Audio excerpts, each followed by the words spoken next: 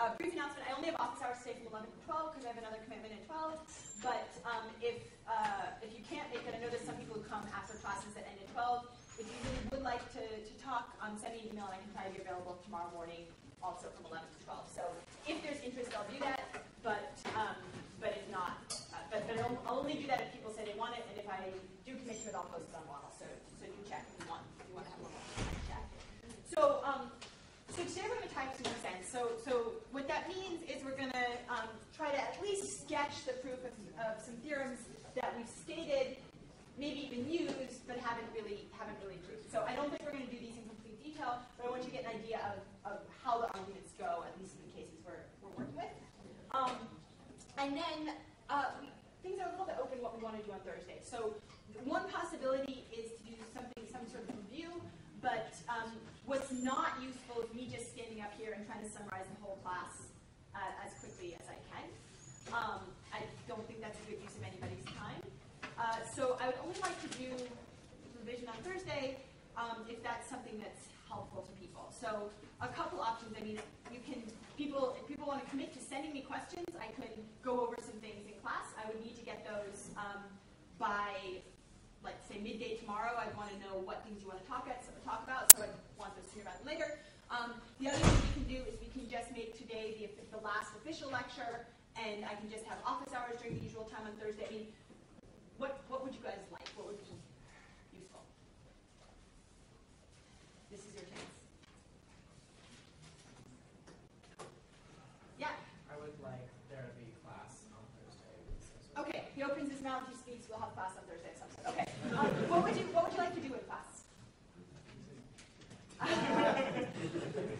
just go through the problems you post for the ring Okay, I think the, the ring problems are going to, you guys are going to end up doing those in tutorial this week, actually. It, it's going to be a chance to go over those. So, um, so yeah, what else, what would be, would be useful?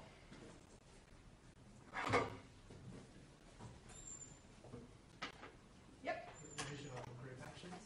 Okay, happy to talk about group actions, right. So group actions, remember, we're not covered on the mid-semester exam, um, so they are fair game for the final. By fair game means they almost certainly probably will appear on the final in some form or another, and, and it has been a while. So, okay, great. Um, I can say some things about group actions. Um, what else would be useful? Any other topics?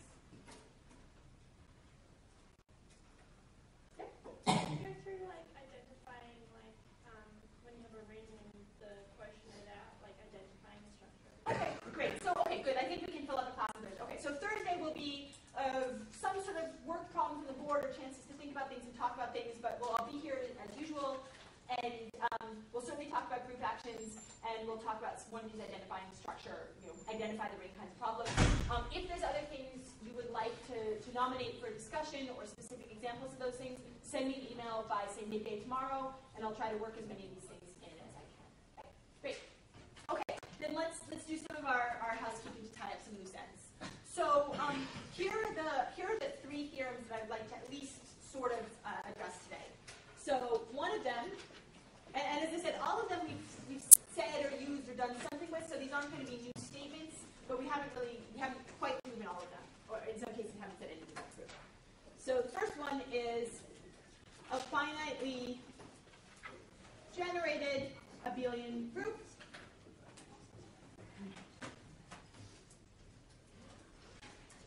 is a direct sum of cyclic subgroups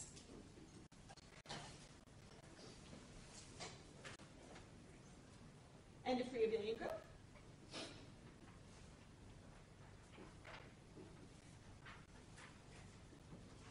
So that means it looks like a cyclic subgroup of order D1, direct sum a cyclic subgroup order D2, and so on, plus a cyclic subgroup of order dk, um, direct sum L, and this is, um, and L is isomorphic to integers to the n for some finite n. Um, and we may assume d1 divides d2 divides dk. Okay? So, so this looks very much like the statement of the diagonalization of an integer matrix. That's because that's the key ingredient in the proof, but we haven't quite turned that into the proof of this, and so that's one of the things I'd like to do today, just so it's really clear what the relationship is between diagonalizing integer matrices and actually getting a classification statement for finite abelian groups. So yesterday's topic was saying if we want to be more ambitious and don't restrict ourselves to abelian groups, can we classify classify simple groups? The answer is yes. It's a fantastic result. We'll start with with this, and then you can work your way through the you know, next 15,000 pages of the classification problem um, at your leisure. Okay, so um, so that's one of the things we're going to say, and there's not, uh, and, and we've done we've done most of this, but um, let's put up the other results we want. So we also have uh, the theorem um, about modules of Noetherian rings. So um, suppose R is Noetherian.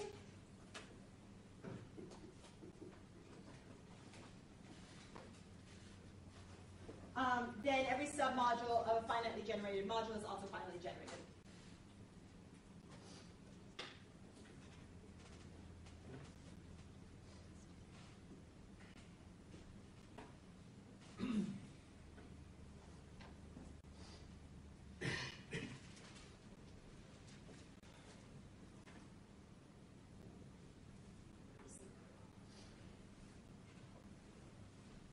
Okay? And um, and this theorem is certainly an ingredient in this proof. Okay, so let's just let's just remember why. So for this thing here, um, we're, we're going to do the proof in a minute, but main, the main ingredient in the proof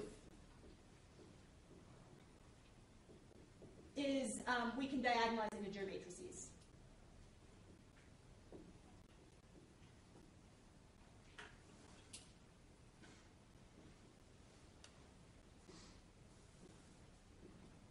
Okay? And the main ingredient in the proof of that we can diagonalize integer matrices, um, sorry, we can diagonalize integer matrices and um, uh, and a finitely, so it's two ingredients. Main ingredients, one is we can diagonalize integer matrices, and two, a finitely generated module is presented by, um, finitely generated Z module is presented by an integer matrix.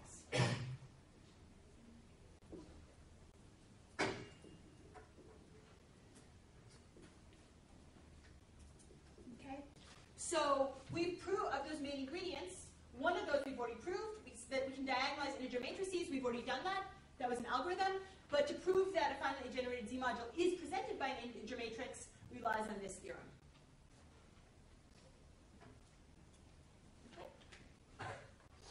And so, so this is sort of uh, getting this included is, is kind of a way of being as complete as possible. And then the third theorem that I'd like to um, to touch on, and we certainly won't plead, prove this one in detail, it is in your book, but I want to at least give an indication of how you could prove the Hilbert basis theorem.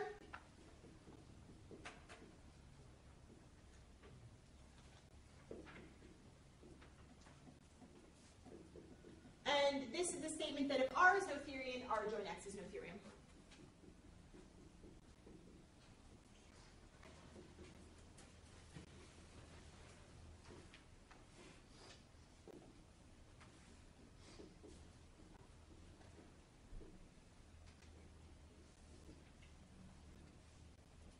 Okay. So that's our goal. Might not get through all of them, but that's our, that's our aim. Um, so let's start with this theorem here um, in the context that we're already assuming that we have um, that we have the things I described as the two main ingredients. So we're assuming that because the integers are Noetherian, that any finitely generated module has a presentation matrix. Then we know we can diagonalize the matrix, and what we need to do is actually turn that into something that looks exactly as form. We've done this in practice in examples, but I just want to be clear about, about what, where we're actually using structural things. So, uh, and let's number these. This is our theorem one. This is our theorem two, and the Hilbert basis theorem gets its own title. Okay. So, theorem one.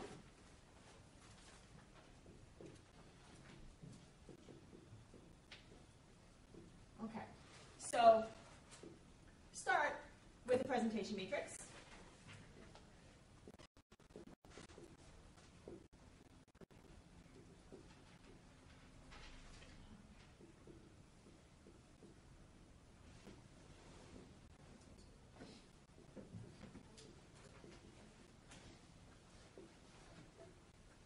Okay.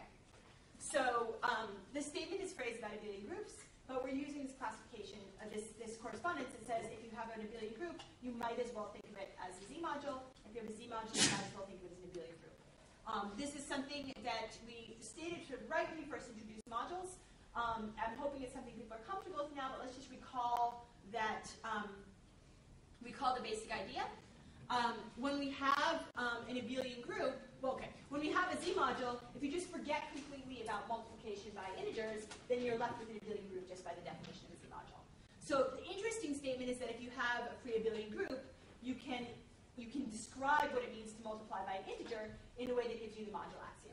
And if you write out what this is, and you take your module element, you take your element of your abelian group, and you have to say what it means to multiply by the integer n. Well, n is 1 plus 1 plus 1 n times. You, you impose the module axioms that says that addition and multiplication are distributive, and it turns out that we do no choice. So there's only one way to define multiplication by an integer, and that allows us to just um, move between these two concepts freely. Okay? So we choose a presentation for the finitely generated Z module, Z module and then diagonalize it.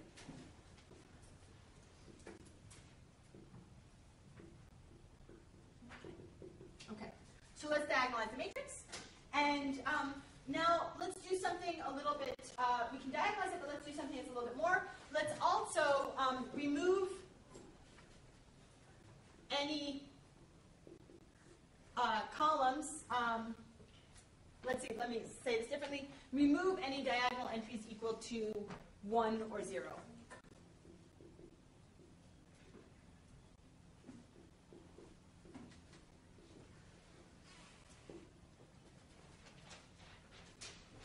Okay.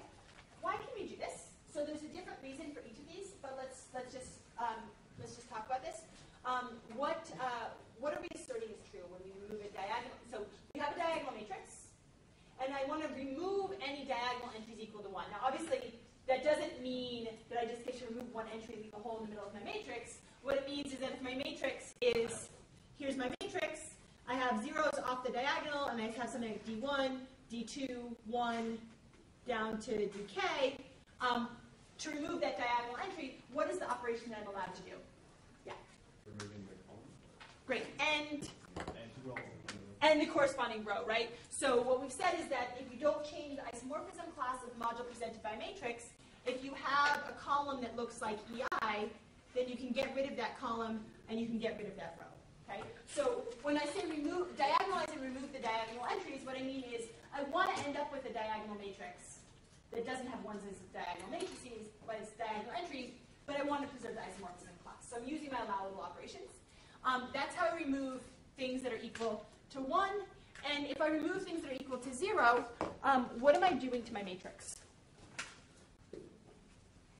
I mean, sorry, what am I, what am I saying about my module if I remove diagonal entries that are equal to 0?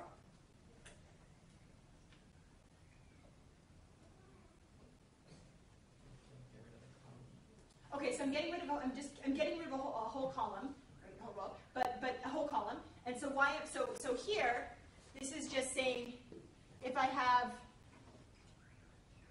if I have a zero column, I can strike it out. Yeah. You're just removing the trivial relation from the matrix. And I'm just removing trivial relation, right? So what is that doing in terms of my presentation? Did you have too many generators? Say again? Did you have too many generators? Um, so there's a question. Did I have too many generators or am I killing the free summand?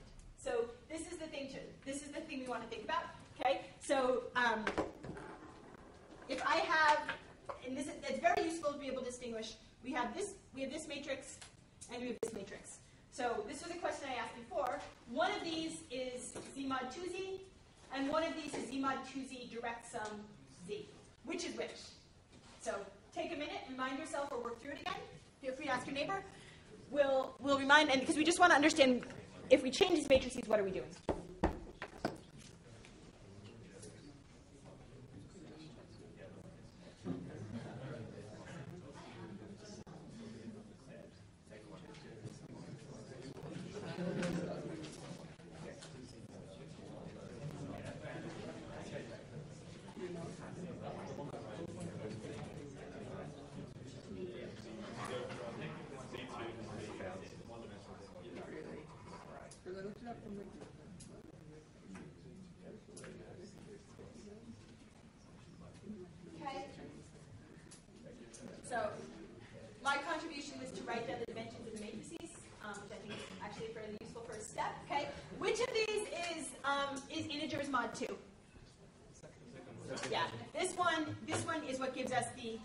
Integers mod 2. And which one is this? This is integers mod 2z direct sum z. So the point is, yeah, if we remove a column, we're just getting rid of an, an extra generator. Okay. So so you just want to remember when we do an operation what it means. If you're not sure, sort of remembering in general, look at a small example and then convince yourself that that generalizes. So this is this is not really part of our proof. This is just kind of a let's just make sure we have this as a reality check. We can get rid of. So where does this leave us?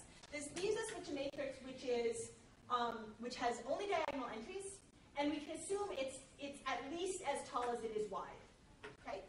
So what are we left with?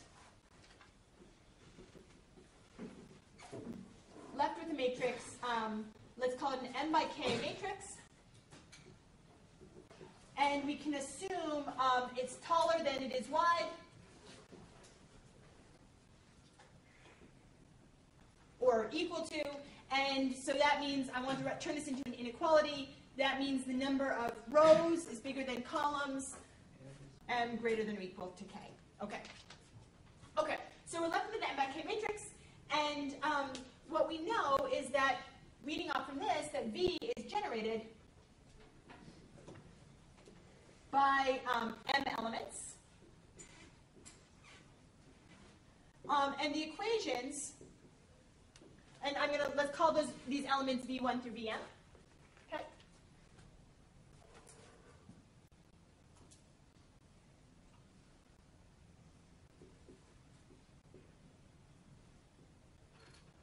And the equations, um, uh, sorry, that was supposed to put vi from 1 to m, and the equations um, di vi equals 0 for 1 less than or equal to i less than or equal to k form a complete set of relations.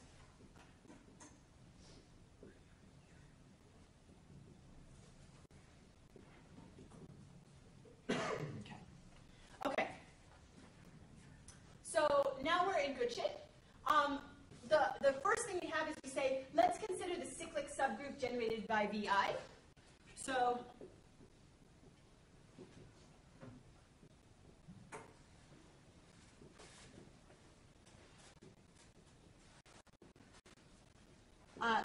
uh, um, has uh, order D. Um, for i less than or equal to k and is infinite cyclic for i greater than or equal to k. Oops, sorry. Those can't be true. Um, yep. Okay. Um, so, so that's good. And we know that the VIs generate um, the, um, the module just by hypothesis. So what is the thing that we need to do to finish to actually conclude that what we have is a direct sum? So we know that these the VIs generate. Say again. Good. We need to okay. The remaining thing we need to show is that in fact they're independent.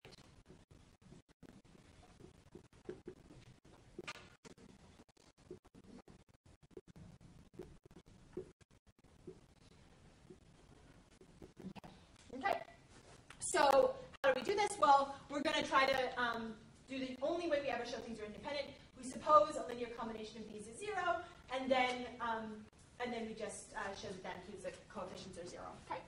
So suppose that the sum sum of wi's is equal to zero with wi in ci.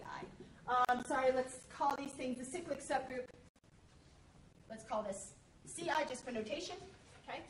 So notice that what we're doing here is slightly different than showing that the VIs are independent. Okay. In practice, it's going to be the same. But recall that when we say that a set of subgroups or submodules is independent, what we're really saying is that if we take any sum of elements in with one element from each of these things, then um, if that sum is equal to zero, then the individual elements are zero. Okay? Why is this slightly different than um, than the VIs? Well, are independent. So in general, when we say something is a direct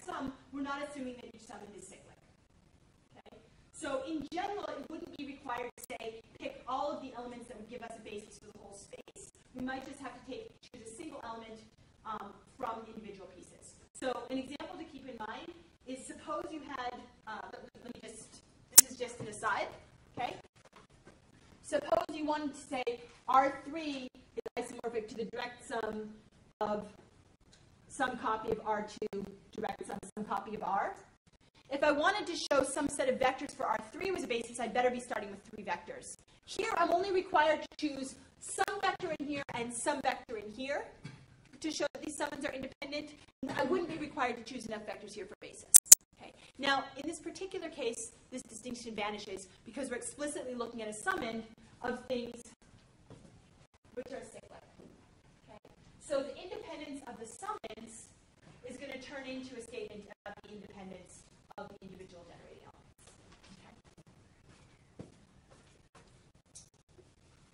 Okay. I said that for honesty. If you didn't catch that completely, don't worry. That's a very minor point.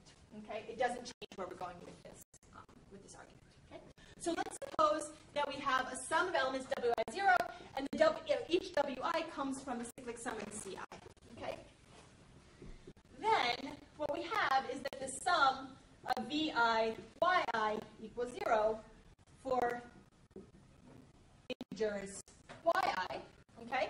Now why is that the case? Well, the property of being in ci just means that you're a multiple of vi. Okay. And this is where it's going to start to look exactly like a basis statement. Okay. Um,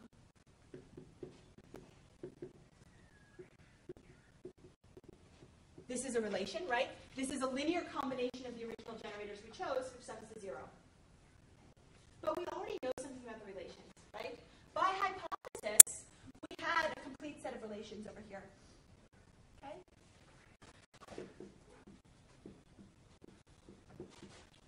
By hypothesis, any relation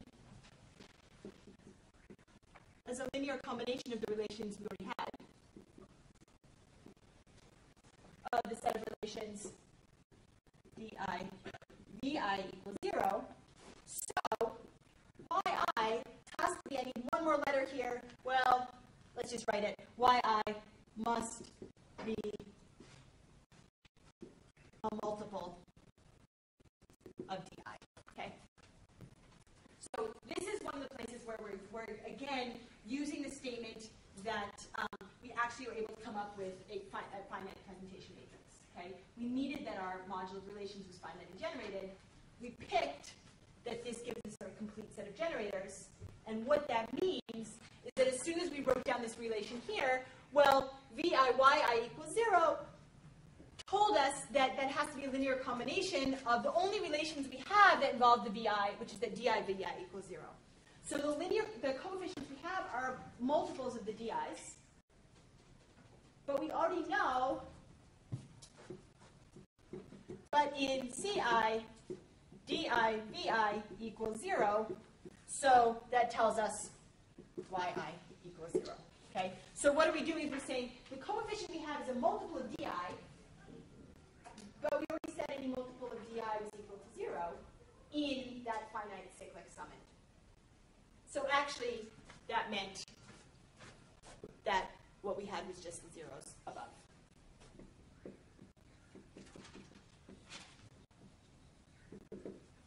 Okay. Yes. Can you explain uh, why we know it's a complete set of relations just from looking at the matrix? Um, the, so, so yeah, so the point is that um, we have to believe that, um, that our module that we're interested in admits a finite presentation matrix. Built into that definition is that the columns of that matrix are a complete set of relations. So, so let me. What does it mean to say that we have a presentation matrix for our module? It means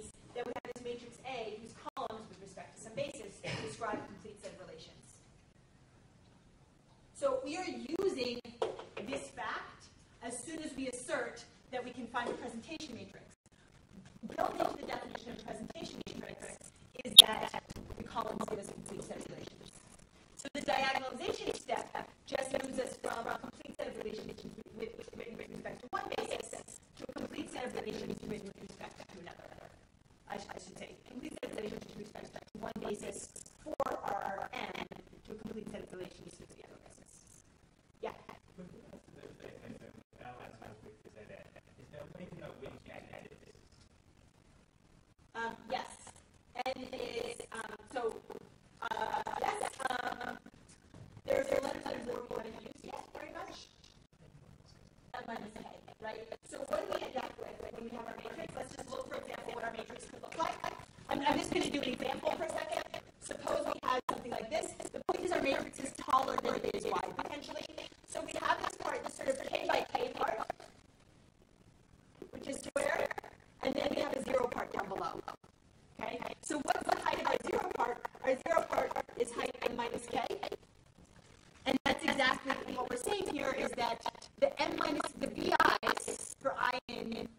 greater than k but less than or equal to m, there's no relations associated to those. So each of those is a basis vector for the finite, for the free summand. Yeah, yeah, yeah. Yes, absolutely. It's perfectly reasonable. Like, Z mod is a perfectly reasonable like. But so is Z mod phi Z direct sum ZQ. Yeah, yeah. Okay. So, and this is the point where um, taller than y, I don't mean that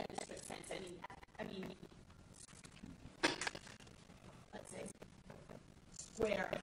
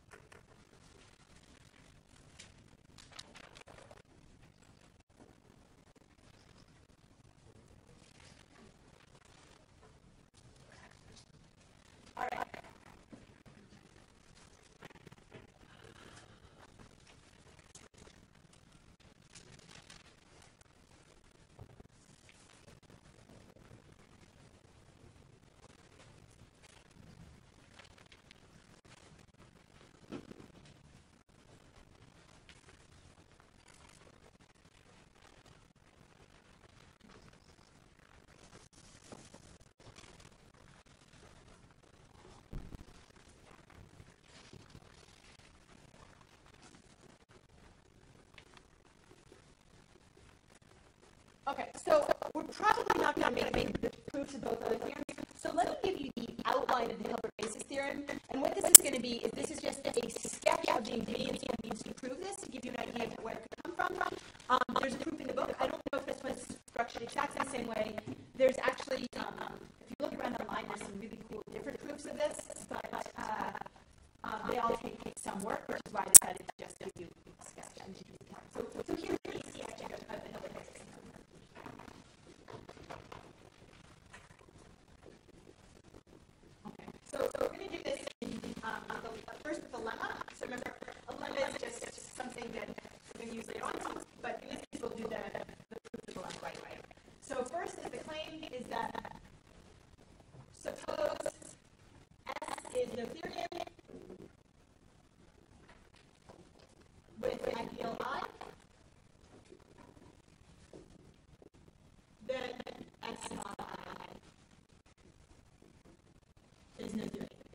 So at first glance, this looks like the opposite thing. This is this is our lemma.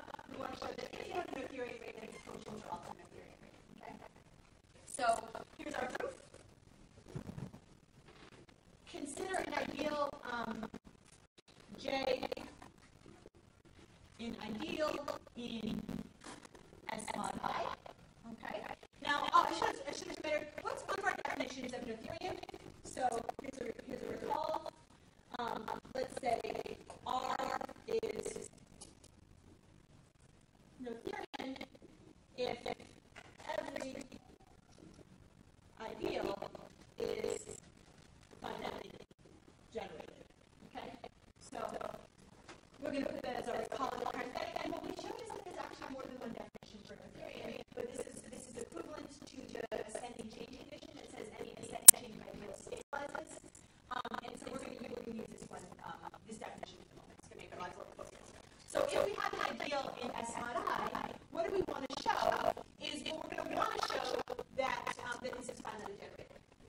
So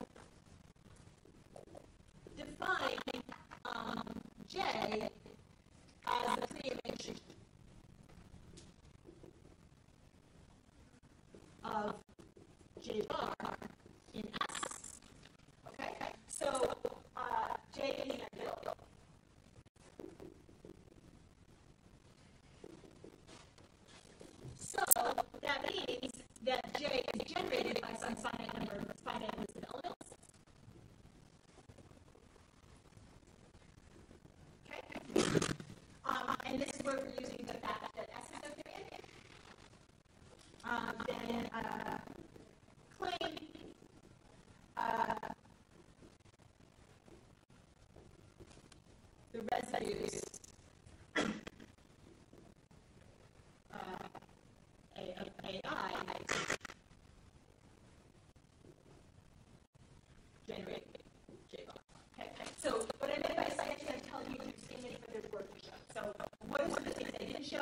didn't actually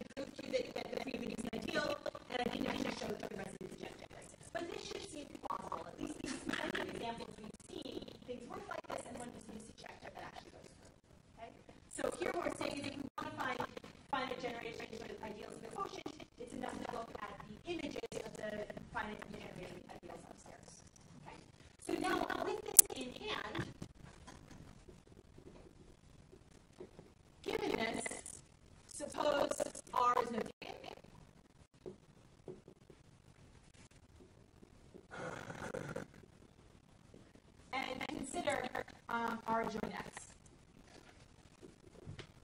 In particular, consider some ideal in, our R joint X, okay?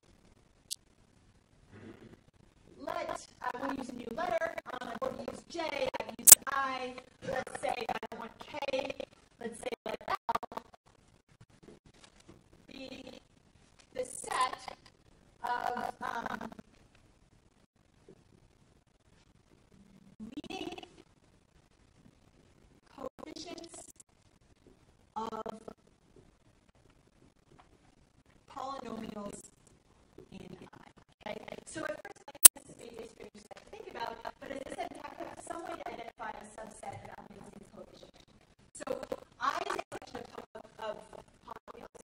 For each polynomial, you can identify the mean coefficient, and then we put all of those together into one set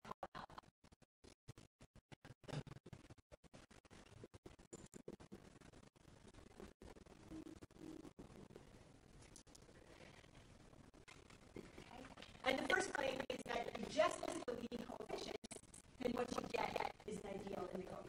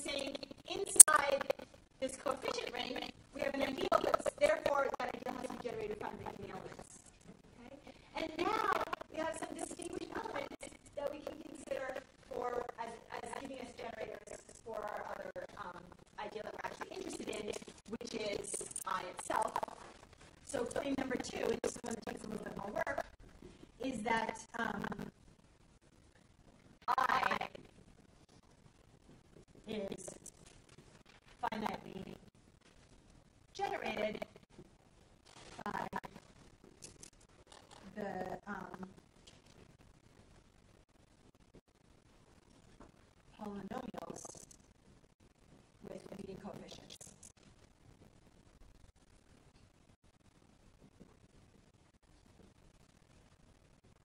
Um,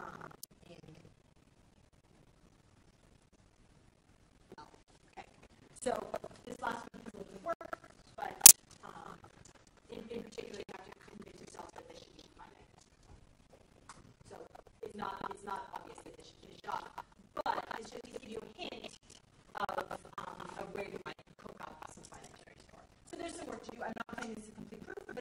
like how we can go back and forth between elements within a, in a ring and quotient and elements of the quotient in the ring. Um,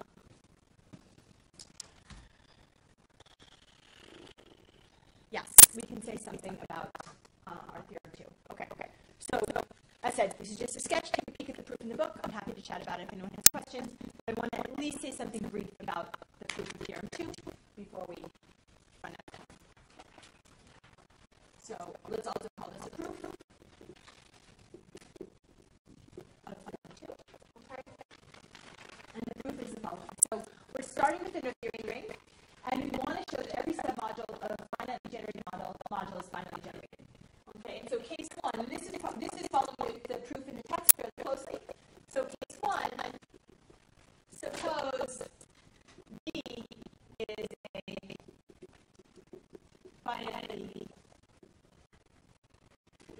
generated uh, free are. Okay?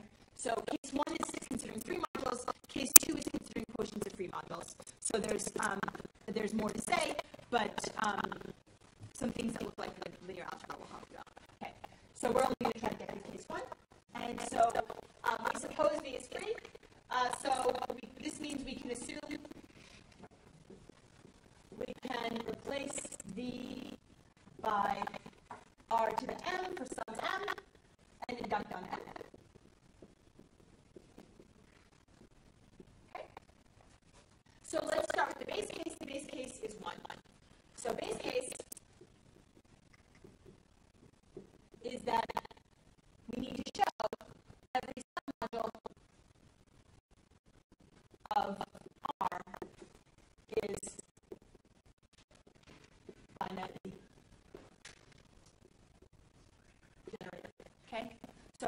modules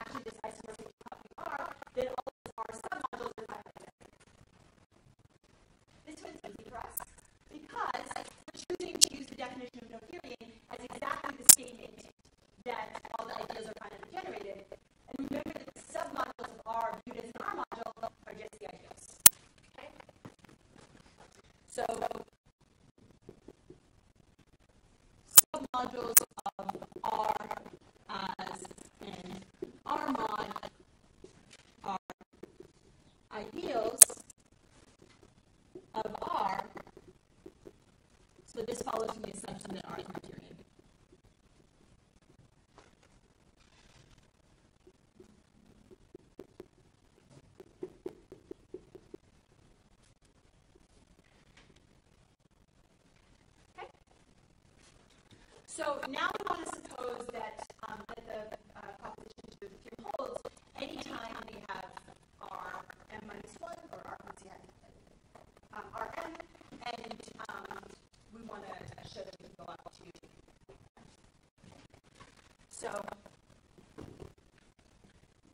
Suppose m is greater than one, so we're considering um, our, our finitely generated module is just isomorphic to rm, and now project um, pi goes from Rm to Rm minus 1. And how we're going to do this, we're just going to kill the last coordinate.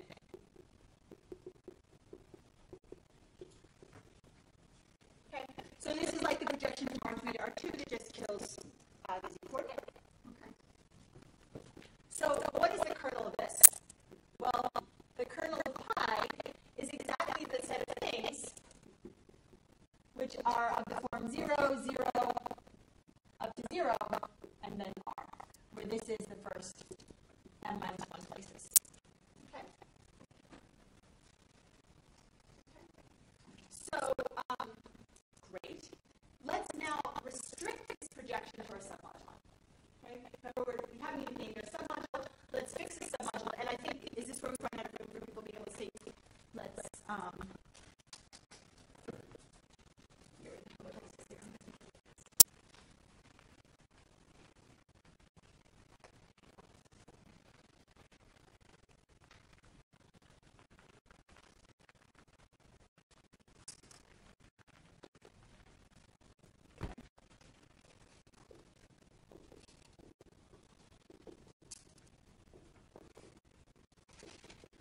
Can you-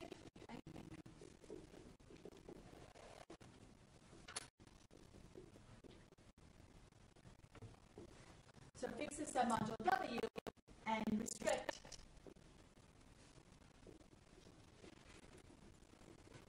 pi to W. Okay?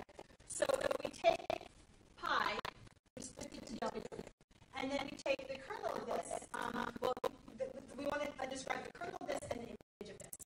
So the image of pi restrict to W is the submodule of what?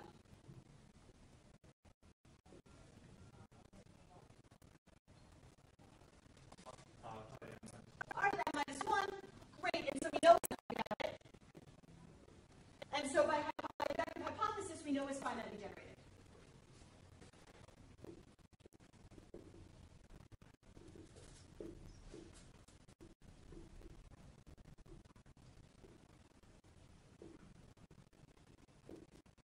Okay, so I didn't actually write down the hypothesis, but I said it was the case we've got, we've got ourselves a submodule of R to the n minus 1, so we know it's finitely generated. Okay? What can we say about the kernel of this projection? Well, the kernel of pi restricted to W is the kernel of pi, the original thing described over here, intersected with W. Okay? And let's notice that this is a submodule of um, something that's isomorphic to R. Right?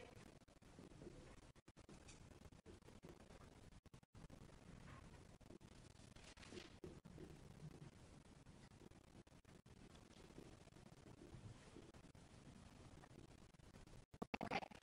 So what we have now is that we have that this map, I restricted to W, has a finitely gen- generated image and a finitely generated kernel. Okay. We wanted to say that that's actually means that it's finitely generated. Okay. This is something, and, and this should seem like a um, thing, because that's how it works in vector spaces. This is one of the places where we can think about how things work in vector space. Think of the rank nullity theorem, and um, and you essentially have a proof right here. So let's let's spell it out. So um, claim. Um, let's make it general. If phi from V to V prime is a module homomorphism,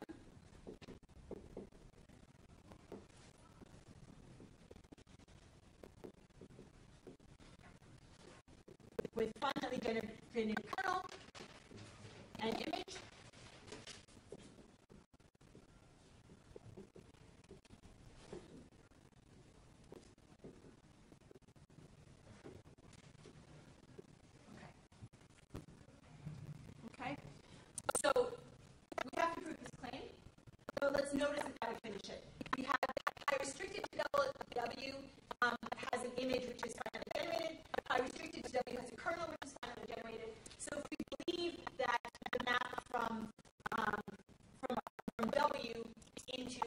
minus 1 uh, is going to all this um, here, then this would our proof. So this should seem, this should remind you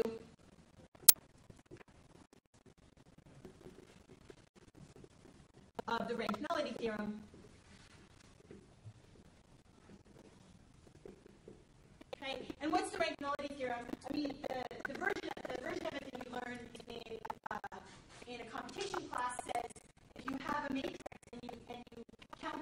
problems that contribute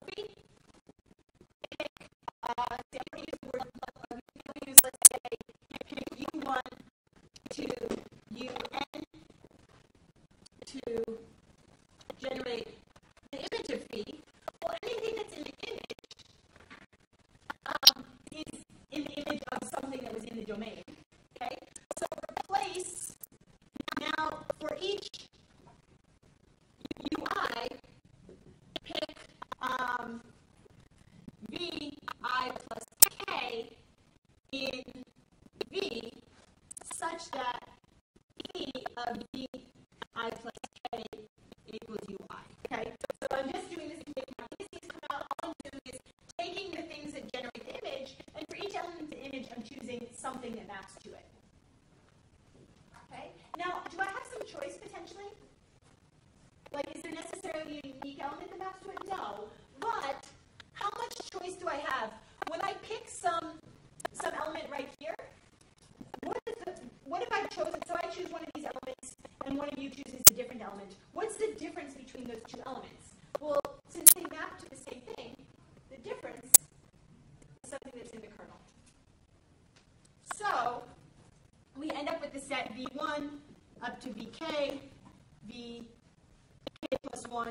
to